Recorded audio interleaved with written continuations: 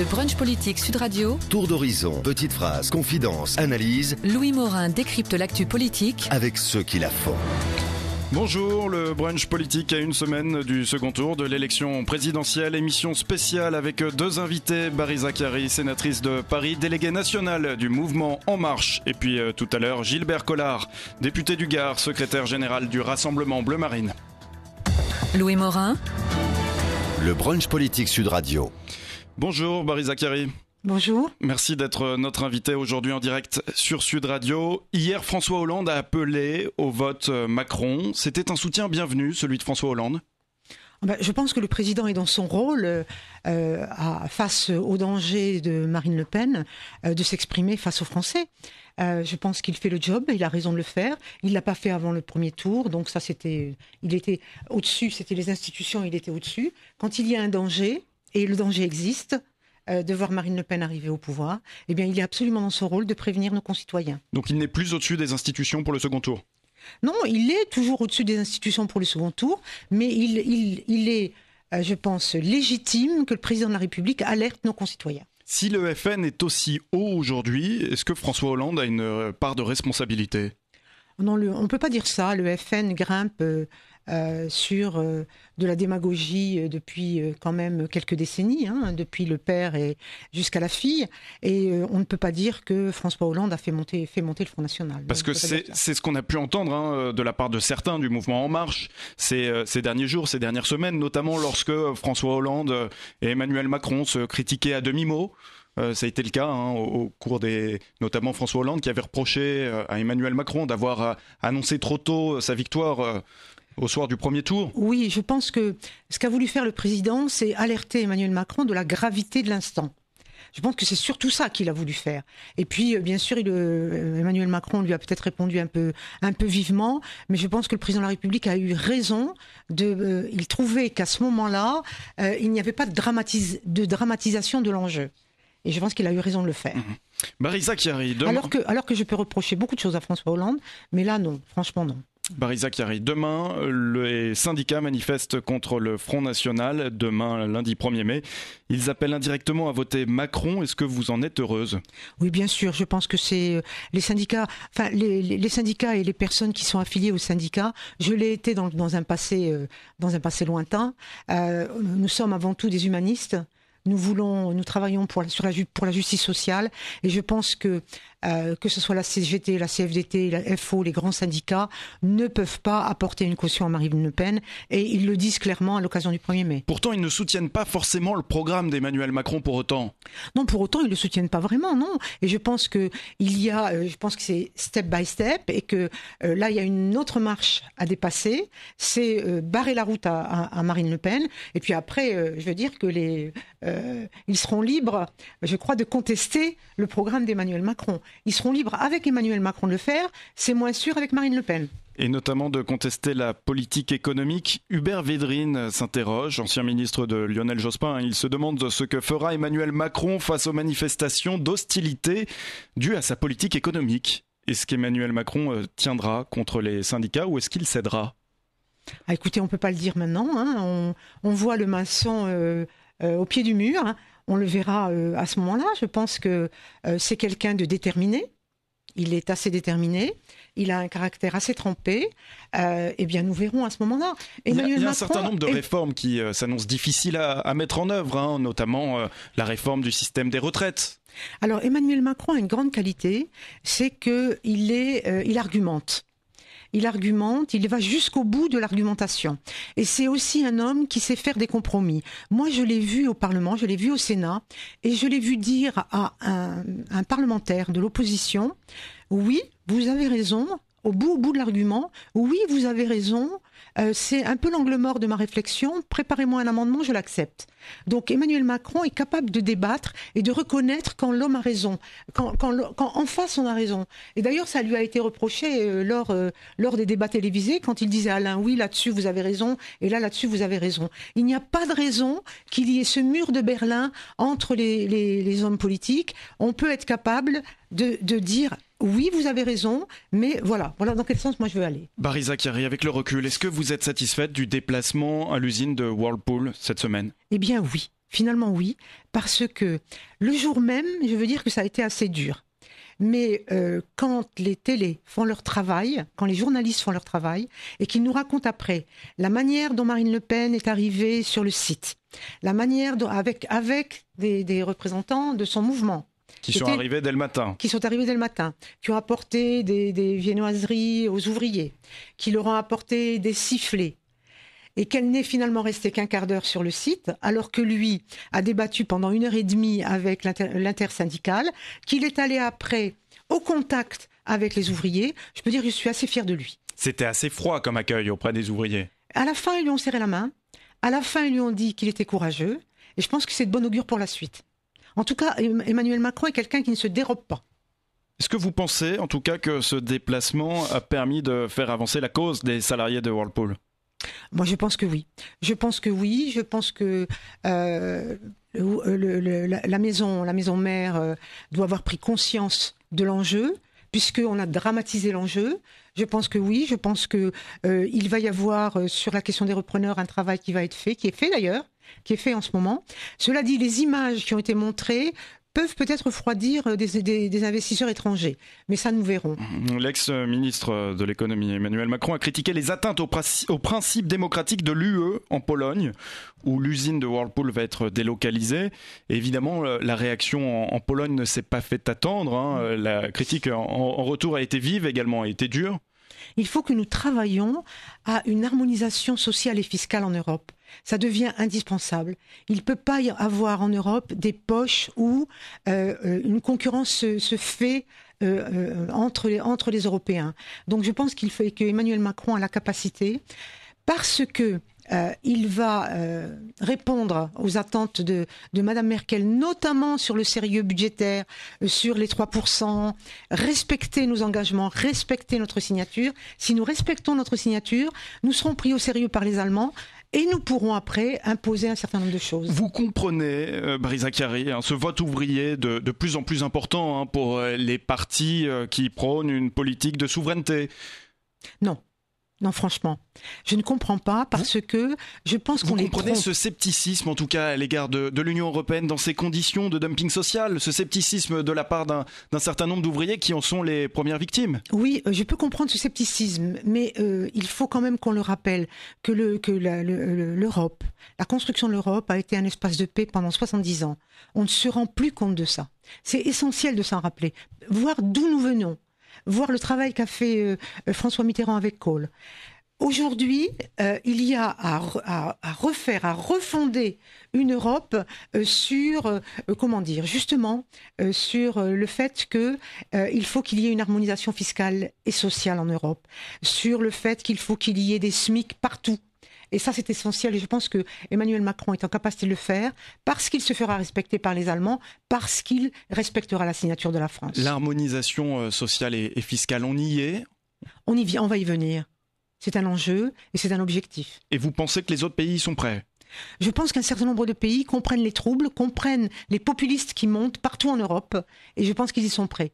C'est l'enjeu de ce second tour, hein, la question sur la mondialisation et, sur la souveraineté de la France. En tout cas, c'est euh, ce que euh, le débat dans lequel Marine Le Pen tente à, tout prix d'entrer, euh, justement parce que c'est là où, il y a point de fracture avec Emmanuel Macron. Oui, mais c'est là où justement Emmanuel Macron, qui est un Européen convaincu, va pouvoir dire, notamment dans le débat, dire en quoi l'Europe est notre avenir.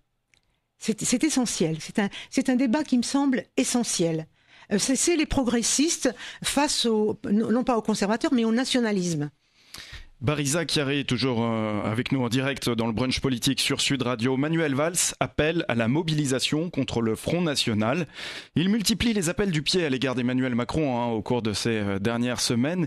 Est-il envisageable de travailler avec Manuel Valls? Alors, je ne peux pas vous répondre de manière précise à cette question. Vous poserez la question à Emmanuel Macron quand vous aurez l'occasion de l'interviewer. Mais je pense que l'appel de Manuel Valls, c'est un appel responsable. Si C'est vous- un homme responsable. Si je vous pose la question, c'est en tout cas parce qu'il n'y a pas de retour hein, pour le moment aux appels du pied de Manuel Valls. Il n'y a pas de signaux positifs de la part euh, des, des, des- des représentants du mouvement En Marche. Et il y a même eu euh, un, un proche du candidat d'Emmanuel euh, Macron qui a été cité par le Parisien cette semaine qui a déclaré il n'est pas envisageable de travailler avec Manuel Valls dans le cadre de la future majorité.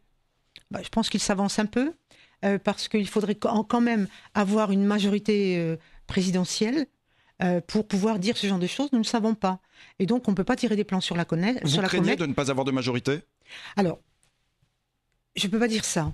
Je pense que les Français sont cohérents et qu'à partir du moment où ils euh, éliront euh, la semaine prochaine euh, Emmanuel Macron à la présidence de la République, ils lui donneront les moyens de travailler.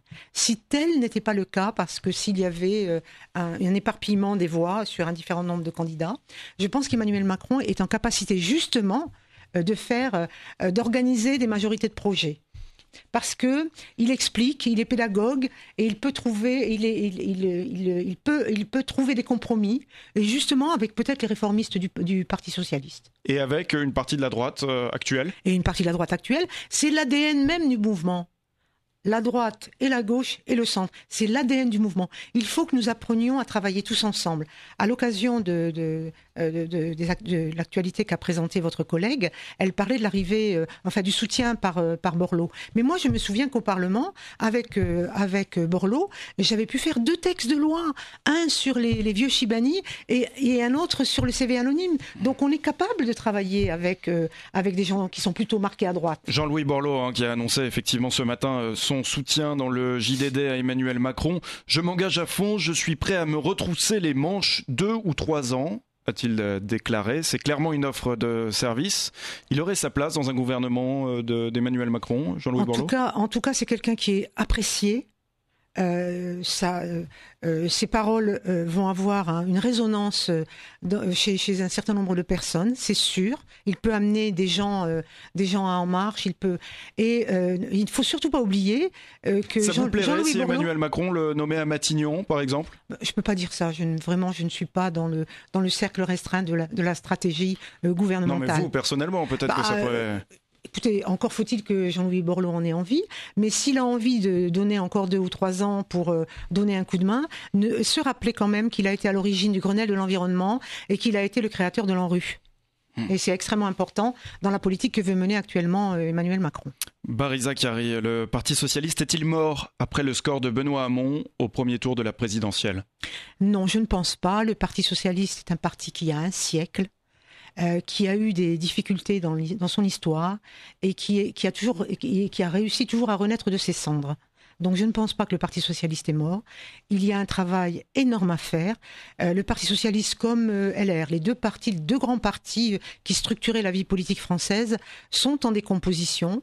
Ils sont en décomposition parce qu'ils n'ont pas su nous projeter dans l'avenir et ils n'ont pas su avoir des débats d'idées en leur sein. Et on voit que les fractures ne sont plus des fractures droite-gauche, mais des fractures qui traversent les partis politiques. Donc ils vont régler, il faut qu'ils règlent ça. le, le score de Benoît Hamon est tout de même assez évocateur. Oui, parce que euh, Jean-Luc Mélenchon a, euh, vampirisé euh, les, électeurs de Benoît Hamon.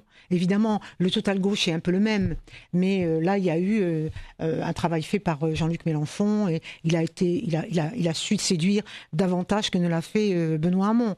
Mais je ne pense pas que le Parti socialiste euh, est mort. Il va falloir travailler, travailler sur le fond.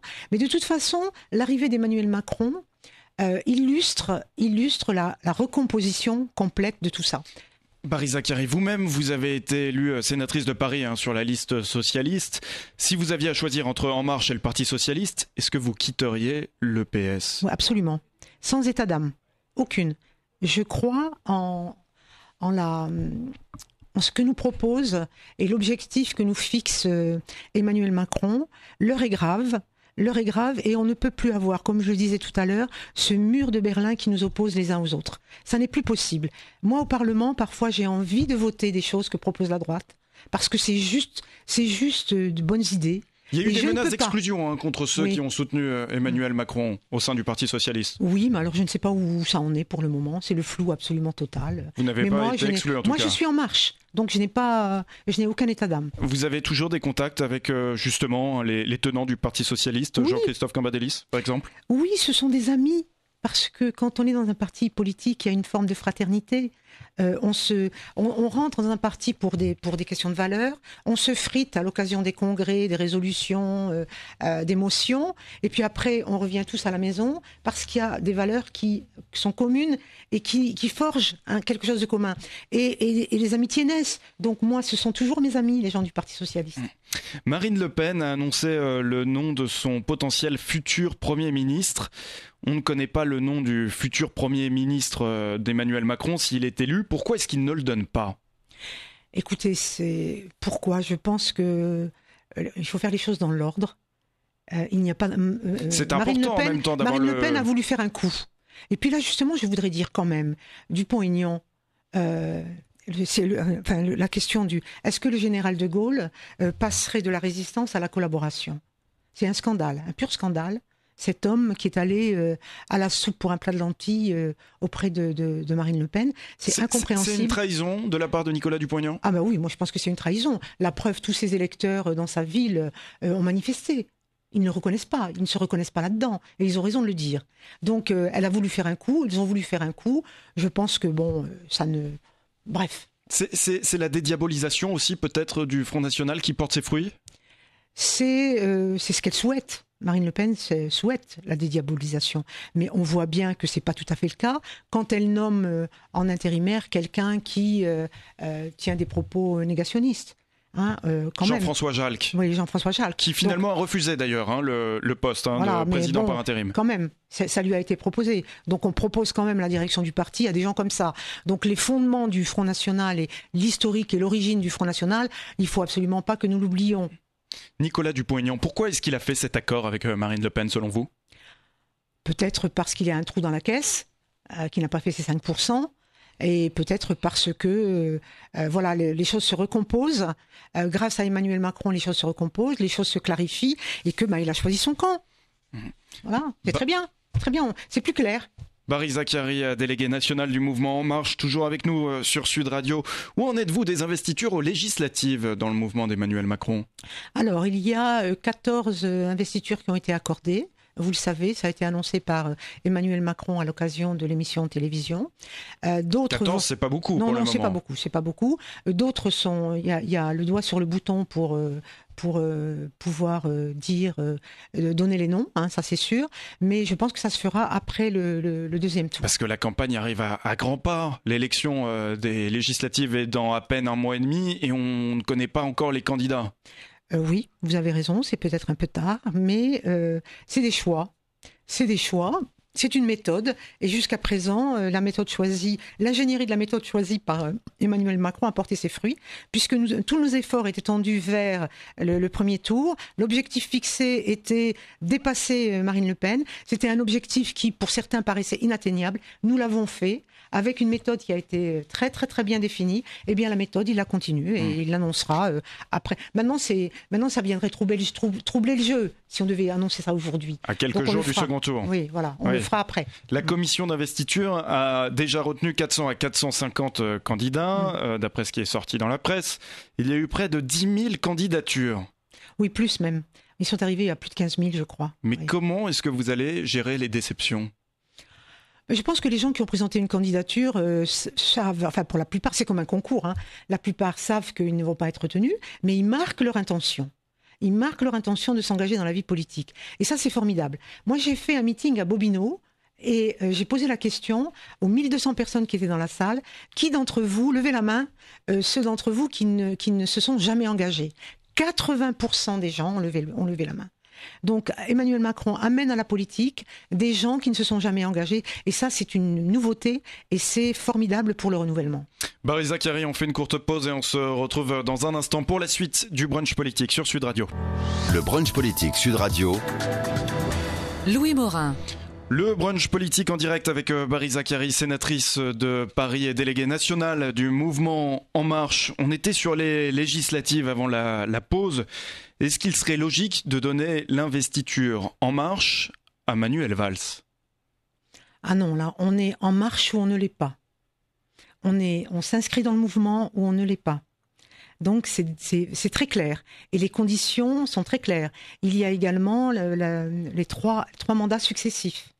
Je pense qu'Emmanuel euh, que, que Manuel Valls dépasse les trois mandats successifs. Donc, Donc même s'il posait sa candidature... Pas d'investiture en marche pour Manuel Valls Pour, pour les gens qui, euh, pour tous ceux euh, qui ne rentrent pas dans les critères qui ont été choisis par la commission euh, de déontologie et d'investiture. Emmanuel Valls ne rentre pas dans les critères, donc il n'y aura pas d'exception. Non, il n'y aura pas d'exception. Non. Même non, non. pour les tenants, les Non, il n'y aura tenants pas du- d'exception.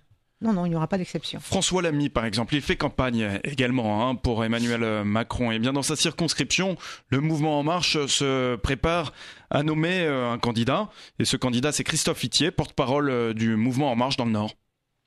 Oui, ben là aussi, pareil. euh, on est en marche ou on ne l'est pas. Euh, euh, la, la doctrine d'Emmanuel Macron, c'est 577 euh, candidats, donc partout. Moi, je souhaiterais quand même. hein, Ça fait partie du renouvellement. Oui, ça fait partie du renouvellement. La moitié seront des gens de la société civile qui ont fait la preuve de leurs compétences et de leur succès dans la société Et cet civile. engagement sera tenu au lendemain du Com- second tour? Alors, compétences qu'ils peuvent utiliser en, en politique. Oui, il y aura la moitié, les investitures, la moitié des investitures seront accordées à des gens de la société civile et la moitié à des élus qui ont fait leur preuve, le preuve la preuve de leur sérieux, de leur compétence et qui n'auront pas plus de trois mandats euh, euh, consécutifs dans le temps. Alors il y a un risque hein, euh, aussi, un risque de voir le Front National arriver en masse à, à l'Assemblée nationale avec ses législatives. Est-ce qu'il faut le prendre en considération dans les investitures? Alors, personnellement, et ça c'est bien à titre personnel, je souhaiterais qu'on dise 577 candidats, sauf là où il y a un danger FN. Il n'y a pas de raison que le mouvement En Marche puisse euh, favoriser l'élection de quelqu'un du Front National. Ça, ça me semble pas possible pour moi. Mais euh, on verra après le deuxième Par tour ce rapport dira. risque, vous, vous dites ça par rapport au risque de triangulaire. Par rapport au risque de triangulaire, oui, oui, absolument. Donc, on- il- il- pour moi, il, ne peut- il ne peut pas être question de favoriser le Front National euh, dans, dans, dans une élection. Bah, mais c'est à titre personnel. hein. Maintenant, le mouvement euh, décidera euh, lui-même s'il met vraiment les 577 candidats partout. Barry Zachary, est-il vrai que François Bayrou a demandé 120 circonscriptions à Emmanuel Macron en échange de son soutien? Oh, je ne pense pas. Je ne pense pas que ce soit vrai. Non. Je ne pense pas que ce soit vrai. C'était en tout cas les, les rumeurs, hein, les bruits oui, qui oui, courent. non, mais ça, c'est c'est Radio Moquette.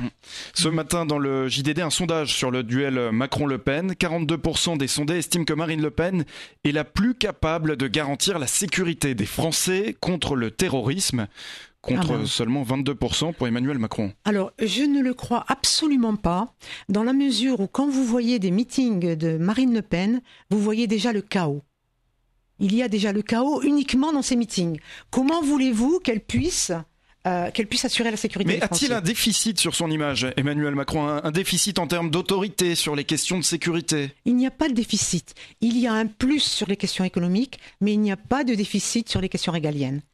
Il n'y en a pas selon vous Pour moi, il n'y en a pas. Hmm. Connaître le mieux la vie quotidienne et les préoccupations euh, des Français, c'est un autre point de ce sondage. 36% des, des Français euh, considèrent que c'est Marine Le Pen qui connaît le mieux la vie quotidienne, contre 20% pour Emmanuel Macron. Mais, mais Marine Le Pen ne fait que dans la démagogie. Elle ne leur apportera rien. La sortie de l'euro, c'est 30% de, de l'épargne des Français qui va disparaître. C'est une partie de leur salaire qui va être amputée. Comment on peut croire à ces choses-là? C'est pas possible. Bon, à l'inverse, il y a, d'autres éléments hein, dans le sondage qui sont plus favorables à Emmanuel Macron, hein, je le Mhm, précise, oui. évidemment. Euh, hier, le, le pape a évoqué euh, la présidentielle euh, française, Barry Zachary. Il n'a pas pris position concernant euh, la présidentielle, le second tour. Euh, mais euh, en ce qui concerne Emmanuel Macron, il a déclaré qu'il ne sait pas d'où il vient. Alors, moi, je peux dire que le pape a fait au Caire un discours absolument remarquable, de bienveillance et de rassemblement. Et ça, ça nous parle. Parce qu'Emmanuel Macron est dans la bienveillance et le rassemblement. Donc, je pense qu'il y a, il y a quelque chose de commun euh, entre euh, les, les valeurs. Vous auriez voulu par qu'il le qu'il pape. prenne position clairement pour le second tour? Le, le- le Le- Saint-Père? Oui. Ah non, non, c'est pas son rôle. On se souvient Il qu'il l'avait fait rôle. pour la présidentielle américaine, en- Oui. avec un sous-entendu sur euh, les personnes qui voulaient construire des murs. Non, non, je pense que c'est pas, il n'est pas dans son rôle. Il est dans son rôle en rappelant la fraternité, en rappelant la bienveillance, en rappelant le dialogue. Et euh, il l'a fait à l'occasion de, du drame des, des, chrétiens d'Orient. Il l'a fait aux côtés du, du, grand, du grand mefti de, de l'Azhar, qui est l'autorité sunnite, main dans la main. Ils ont dit un certain nombre de choses qui étaient des choses. C'est le rassemblement, le dialogue, la fraternité. Ce sont pas, euh, franchement, euh, ce ne sont pas des valeurs qui sont portées par, par le Front National. Depuis euh, dimanche dernier, Emmanuel euh, Macron bénéficie de nouveaux soutiens, à gauche comme à droite. C'est logique hein, pour faire euh, barrage au, au Front National. Est-ce que euh, vous craignez la comptabilité des temps de parole en conséquence? Franchement, c'est un sujet que je n'ai pas, au- auquel je n'ai pas pensé. Bon, il va peut-être y avoir, euh, évidemment. Parce que l'entourage le d'Emmanuel Macron s'en inquiète justement hein, de Oui. voir euh, toutes ces personnalités qui, qui soutiennent forcément Emmanuel Macron et qui de fait seront considérées dans les temps de parole de, de soutien à Emmanuel Macron alors que Le CSA fera son travail. Moi, je pense que le- il faut faire confiance au CSA, euh, qu'il l'a toujours fait pour faire son travail sur les questions d'égalité de, de, de temps de parole. Mais je ne vais pas me plaindre des soutiens que Emmanuel Macron engrange actuellement. Je ne vais pas m'en plaindre. hum, Barry Zacharie, est-ce que vous refuseriez un poste ministériel? Alors, euh, je, ne, je tourne la page politique. Mon dernier combat politique, c'était porter Emmanuel Macron à la présidence de la République. C'est en passe d'être fait. On a encore une marche à, gravir là. euh, et j'appelle tout le monde à voter, évidemment, pour, euh, pour Emmanuel Macron et faire barrage euh, au, au Front National. Mais je ne suis pas tentée par un poste euh, ministériel. Vous n'êtes pas candidate à un poste Je ne ministériel suis absolument pas candidate à un poste ministériel. J'ai envie de faire autre chose et de me ressourcer, comme l'a fait Bernard- Bertrand Delanoë, qui nous a donné l'exemple à Paris. Est-ce que vous étiez à la rotonde dimanche dernier? Je suis arrivée à la Rotonde à 11h30 après avoir fait un plateau euh, à Public Sénat. Et effectivement, j'ai vu arriver euh, vers minuit, minuit et quart, euh, euh, quelques personnalités euh, de la vie parisienne. Je m'en suis étonnée parce que ce, ce, ce, ce soir-là, C'était un mauvais symbole? Bah, écoutez, euh, on l'a pas souhaité. Je veux dire, euh, c'était fait pour euh, pour le personnel et leurs familles, les gens qui avaient travaillé euh, au QG, euh, les, chauffeurs, les secrétaires, euh, le service communication, enfin tous les gens qui avaient travaillé. C'était fait pour ça. C'était pas pour les people, vraiment. En cas de victoire dimanche prochain, est-ce que vous fêterez euh, la victoire d'Emmanuel Macron à la rotonde à nouveau? Alors ça, je n'en sais rien. Je ne sais pas ce qui est prévu, mais je pense que l'alerte donnée la dernière fois en termes d'image, hein, je parle en termes d'image, Oui, et en termes de symbole, euh, doit faire réfléchir Emmanuel Macron. elle a été Donc, entendue. Je pense qu'elle a été entendue et je pense qu'on fêtera ça entre nous. Merci Barry Zachary euh, d'avoir accepté notre invitation aujourd'hui pour euh, ce brunch politique. Dans un instant, dans la suite de l'émission, Gilbert Collard, député du Gard et représentant du Front National. Le brunch politique Sud Radio. Louis Morin. Brunch politique en direct avec euh, Gilbert Collard, député du Gard, secrétaire général du Rassemblement Bleu Marine. Bonjour Gilbert Collard. Bonjour, bonjour. Merci d'être euh, notre invité aujourd'hui euh, sur Sud Radio. La sortie de l'euro n'est plus un préalable à toute politique économique pour le Front National. C'est un revirement? Non, c'est pas. Alors on avait convenu qu'on commencerait pas par parler de l'euro, mais comme on peut pas faire confiance à un journaliste, C'est- Mais non, vous avez- on- non, on- n'en avait pas votre droit convenu. absolu. Non, non, on n'en mais- avait pas convenu. C'est vous qui, en arrivant mais- dans ce studio, m'avez dit que. mais non, je vous taquine un peu, je vous taquine un peu, j'ai le droit, c'est- une affaire de bonne humeur. Non, je, euh, Marine, euh, Marine Le Pen a été très claire là-dessus. Bon, je crois qu'il faut profiter de l'occasion que vous me donnez pour bien stabiliser les choses. Dans un premier temps, on va tenter gentiment, fermement, de renégocier tous les traités qui nous plombent. Euh, Schengen, euh, ce qui a lien avec l'agriculture, ce qui a lien avec les travailleurs détachés, enfin tout ce qui accable le monde ouvrier, euh, nos petites entreprises. Bon, De la même manière que souhaitait le faire à l'époque Jean-Luc Mélenchon. oui, oui, oui, mais il y a pas, de- on n'a jamais dit qu'on n'était pas d'accord euh, sur ce point, hein, bien évidemment. hein. Ensuite, euh, il y aura la question de la sortie de l'euro, qui sera une question que nous ne résoudrons pas nous-mêmes. Et là, je vais être, si vous me permettez, très clair. Ce n'est pas nous qui déciderons. Ce n'est pas moi, ce n'est pas Marine. C'est l'ensemble des Françaises et des Français. A- Vous, par exemple, si vous voulez pas qu'on sorte de l'euro, eh bien vous voterez pour qu'on ne sorte pas de l'euro. Oui, on a compris, vous voulez faire un référendum sur le sujet, mais il y a un, revirement au moins sur le calendrier en termes de date. On évoque euh, dorénavant un, calendrier après 2018. Non, mais ça c'est, je crois que c'est une, euh, c'est une erreur euh, d'appréciation dans les délais. Il est, il, est bien évident que ces négociations vont prendre du temps. Et puis, il va falloir également que nous puissions nous rapprocher de tous nos partenaires européens qui en ont aussi un peu marre euh, de ces contraintes qui pèsent sur nous. Quand vous, quand, vous pensez, euh, je m'excuse de le rappeler, mais c'est pas mal que nos auditeurs l'entendent, que euh, les banques européennes planquent un quart de leurs bénéfices dans des paradis fiscaux.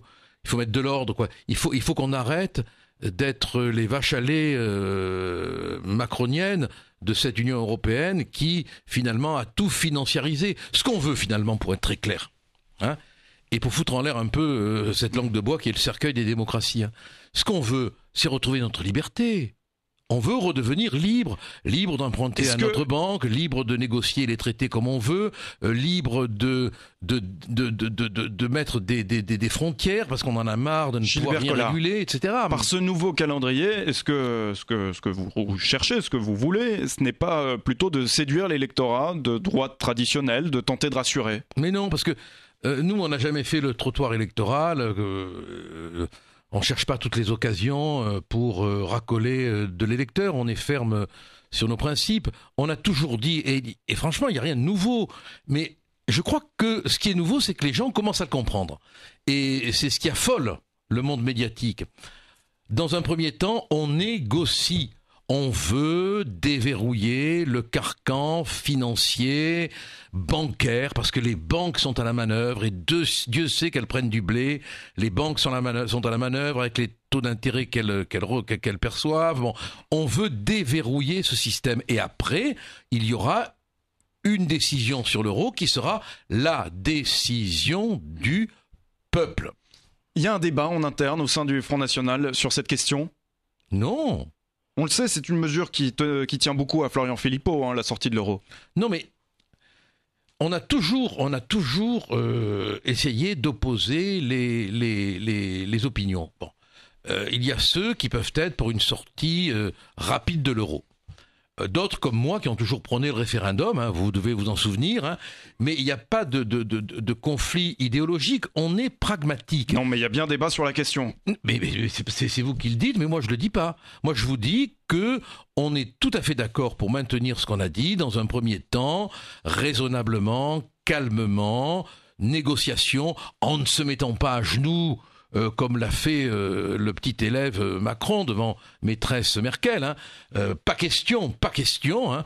mais on veut récupérer, je le redis, notre souveraineté législative. On peut même plus voter nos lois, notre souveraineté économique. On peut plus prendre aucune décision. On peut même pas aider nos entreprises, notre souveraineté financière. On peut même pas emprunter à, nos banques. Bon, je veux dire, je n'arrive pas à comprendre que cette volonté de récupérer nos instruments de conduite puissent inquiéter.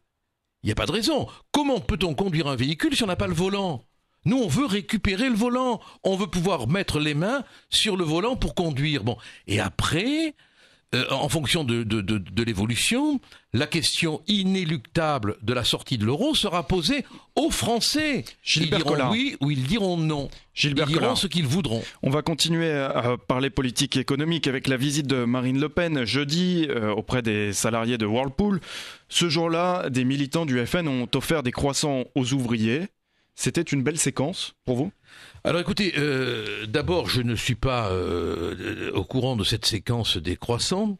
Ensuite, si vous pensez qu'on peut acheter des ouvriers avec des croissants, vous vous faites une opinion du monde ouvrier qui n'est pas la mienne. Je crois que non mais là vraiment non, mais là, Gilbert Collard, là, il faut s'arrêter, il faut s'arrêter 30 secondes. Je sais ce que vous allez me dire et je vais l'assumer.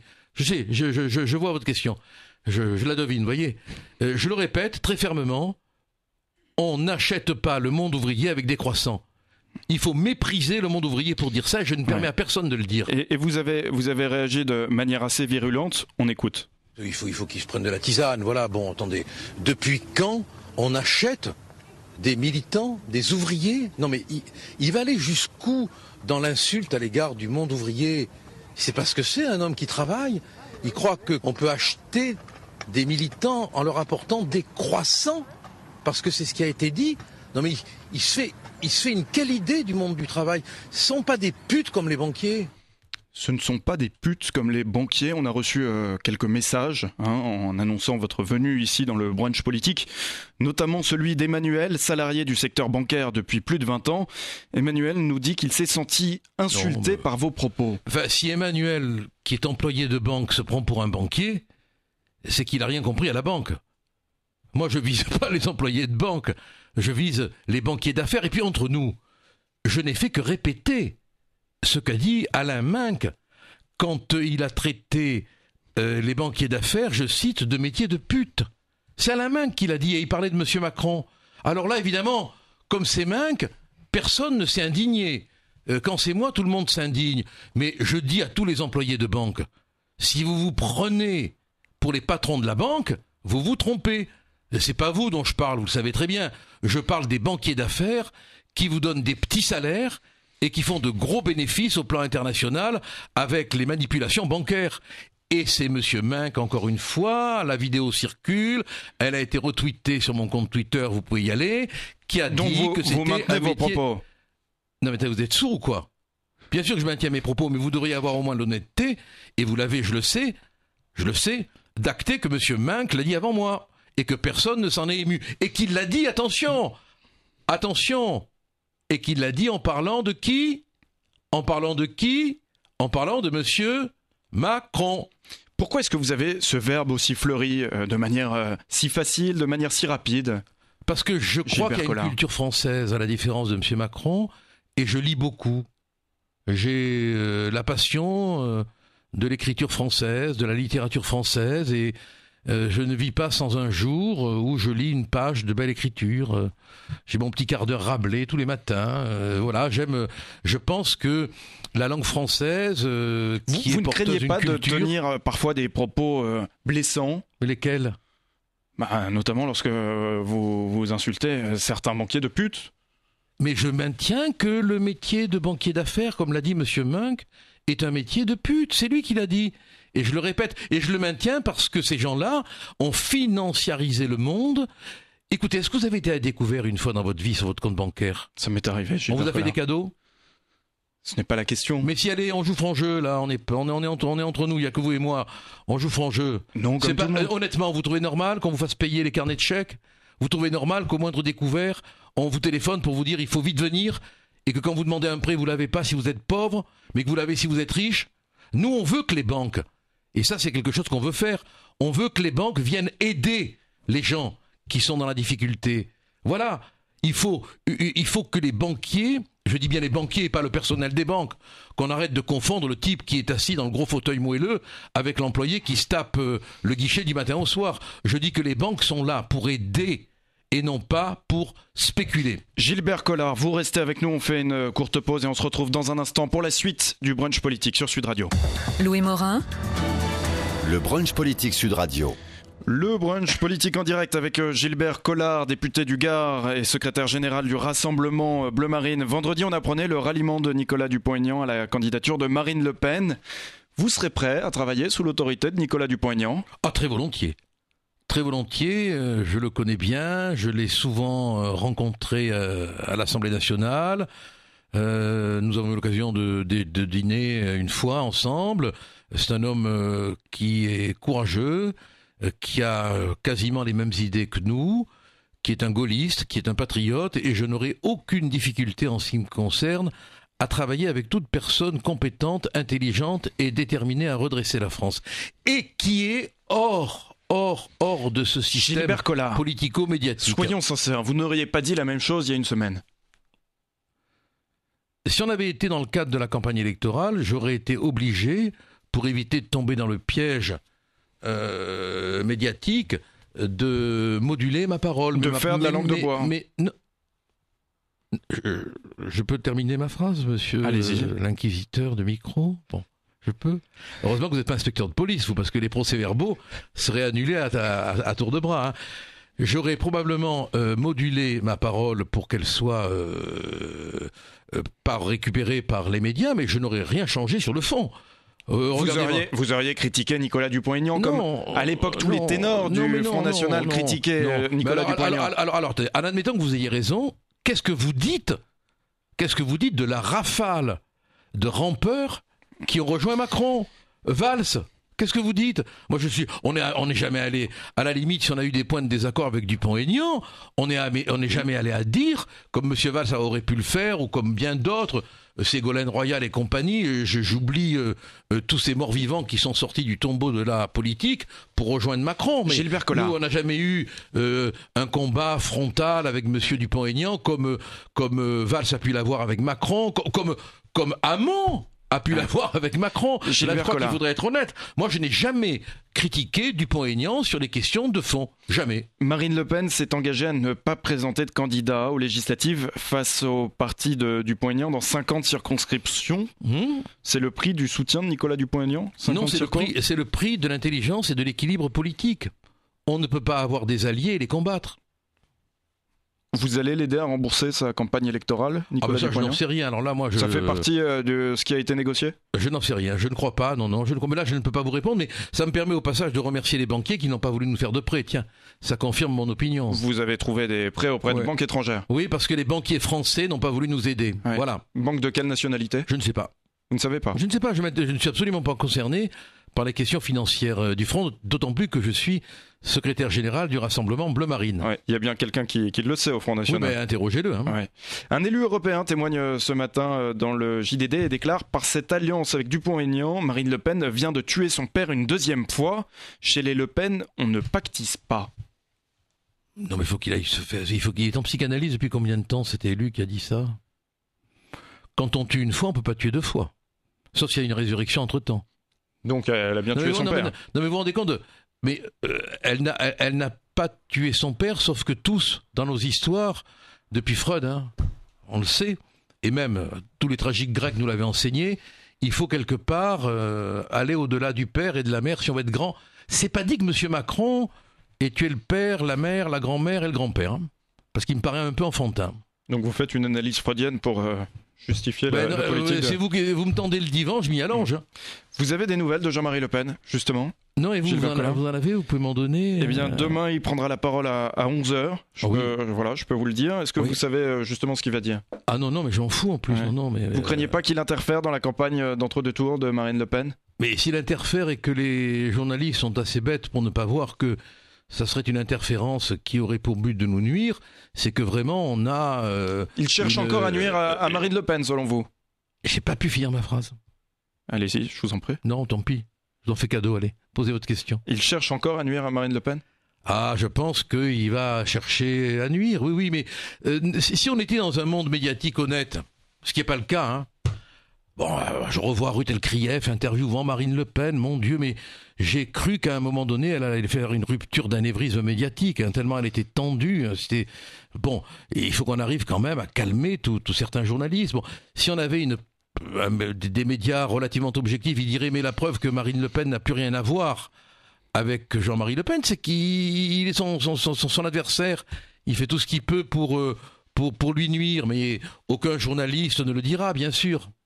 Jean-François Jalc devait devenir le président par intérim du Front National. Finalement, il a renoncé, suspecté d'avoir tenu des propos négationnistes. Il a eu raison de renoncer? Alors moi, je connais bien Jean-François Jalc, et il m'est peu arrivé, il m'est peu arrivé de prendre la défense de quelqu'un. D'accord de rien? Ouais. C'est un type très bien. Je le connais depuis de longues années, je l'ai jamais entendu Donc tenir... il aurait dû rester? Vous m'avez pas laissé finir ma phrase? Et là, je vous fais pas de crédit, hein, je la reprends. Je pense que vraiment, euh, il est euh, inattaquable de ce point de vue-là. Du reste, il fait un procès. Mais j'en profite, tenez. J'en profite pour dire que ce commerce qu'on est en train de mettre en place avec le grand battleur d'estrade, Monsieur Macron, commerce comme quoi on serait raciste, antisémite, ce commerce me fait vomir parce que j'ai dans le sang de ma mémoire des choses qui souffrent, vous comprenez? Et je pense à tous ces électeurs qui ont voté pour nous et qui se font insulter par M. Macron. Et je pense aux électeurs d'outre-mer qu'on traite de racistes de xénophobe. Il y a une diabolisation, selon vous, en cours du Front National? Mais non, mais il y a la vieille technique qui est en place depuis euh, toujours. Euh, Monsieur Macron, par exemple, qui est, enfin, qui est à coquiner avec Mohamed Saoui. Monsieur Macron, dont Monsieur Ferrand a, a donné des subventions à des associations euh, qui, qui, qui, qui, palestiniennes qui, se mobilisent contre Israël, euh, viennent faire la leçon contre l'antisémitisme, enfin quand même. Si, si, on, était dans un monde objectif, on se dirait qu'ils font de la comédie. En tout cas, moi je vous dis une chose, hein, une fois pour toutes. Hein. L'antisémitisme est ignoble. Et il m'aura toujours sur son chemin, comme il m'a toute ma vie toujours eu sur son chemin. Gilbert Collard, Jean-François Jalc, vous n'avez pas répondu. A-t-il eu raison de renoncer, oui ou non? Mais bien sûr qu'il a eu raison, parce qu'il a très bien compris que tous les médias euh, à la solde allaient se ruer sur lui et que, et que quoi qu'il fasse, quoi qu'il dise, qu'est-ce qu'on peut faire quand on, quand on... Si je vous dis femme, qu'est-ce que vous pouvez faire? Non mais, non mais on a un dialogue intelligent là, c'est intéressant. Si je vous dis femme, faire un procès, c'est tout. Faire un, vous il, prenez... a, il, a, il a déposé plainte? Oui, bien sûr. Vous prenez la diffamation dans la figure. Contre qui? Ben, contre les personnes qui ont tenu ces propos, bien évidemment. Les organes de presse et tous ceux qui les ont relayés. Il a, il a déposé plainte contre mais, certains journalistes. Oui, mais si je vous, si je vous diffame, qu'est-ce que vous pouvez faire?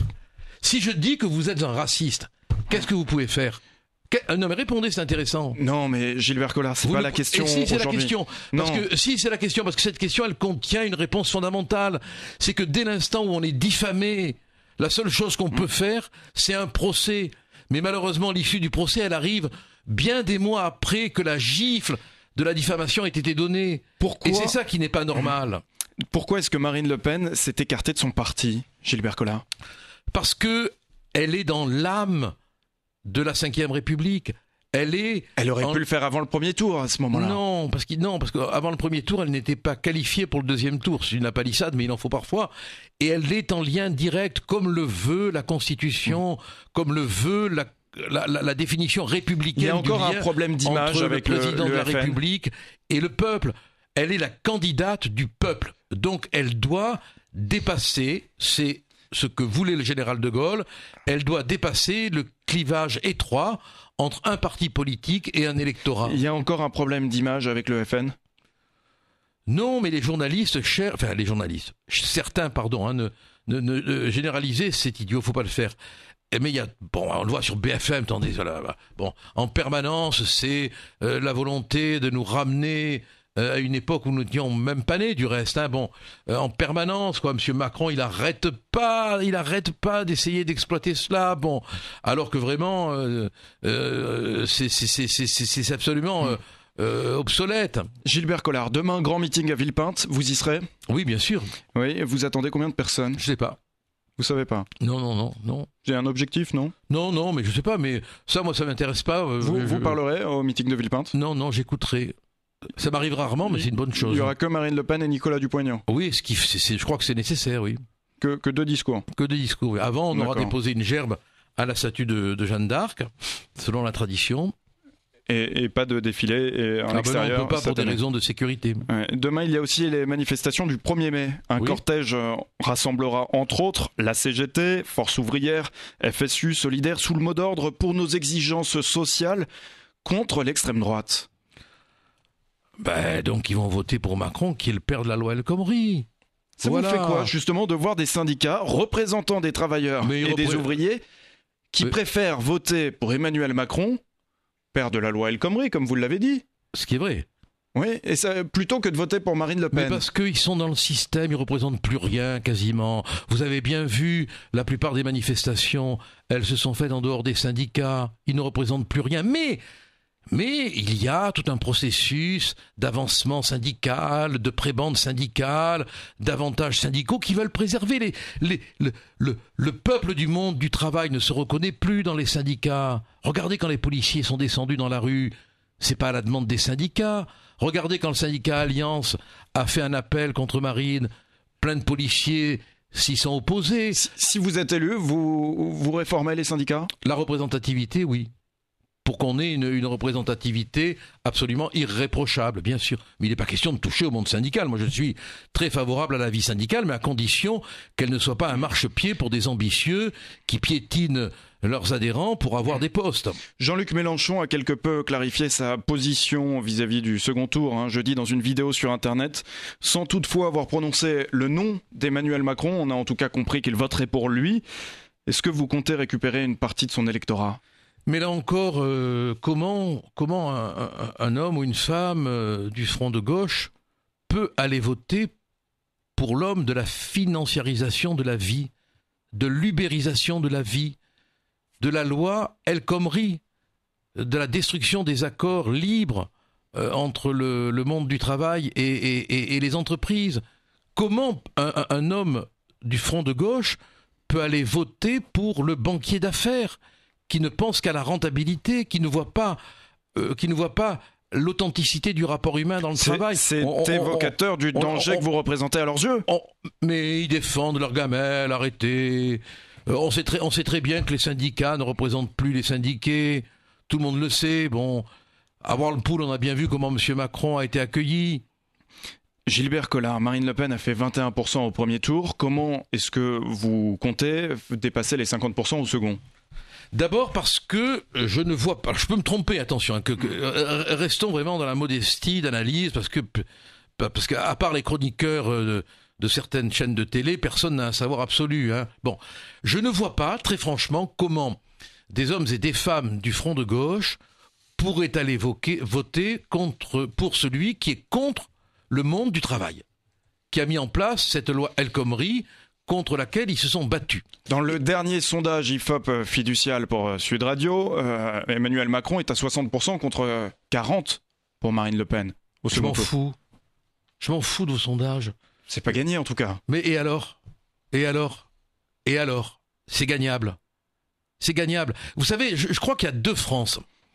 Il y a la France du thermomètre, des sondeurs, et il y a la France qui se fout un peu de tout ce que on raconte euh, un peu partout sur les plateaux et qui a sa vie de, douleur, sa vie de fin de mois, sa vie d'insécurité, euh, sa vie euh, d'insulte, qui vit le terrorisme, qui vit dans les banlieues la maltraitance. Cette France, elle n'en a plus rien à foutre de nos leçons, les vôtres, les miennes et celles des autres. Elle veut qu'on prenne le réel à bras le corps. Et quelque part, elle se dit que cette espèce de produit de la télé-réalité qu'est M. Macron, euh, Mme Ramayadé est, est, allée jusqu'à se demander s'il n'était pas fou. Merci, merci. Vous savez ça? Ouais, merci vous savez ou pas? Gilbert Collard. On arrive au terme de cette émission. Merci à vous d'avoir accepté euh, notre invitation. Tout de suite sur Sud Radio, Sylvain Augier reçoit Claude Sérillon pour Qu'est-ce qui vous fait courir?